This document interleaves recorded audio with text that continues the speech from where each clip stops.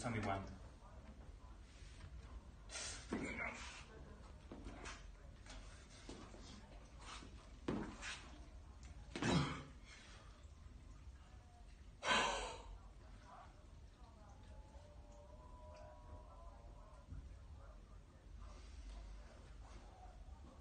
You've got two jobs. How did that happen? Oh, You can't concentrate, can you, with two jobs?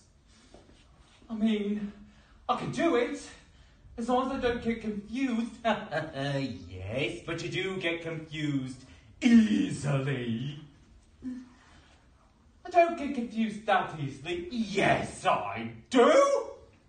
I'm my own worst enemy. Don't stop being negative. I'm not being negative. I'm being realistic. Screw it up. I always do.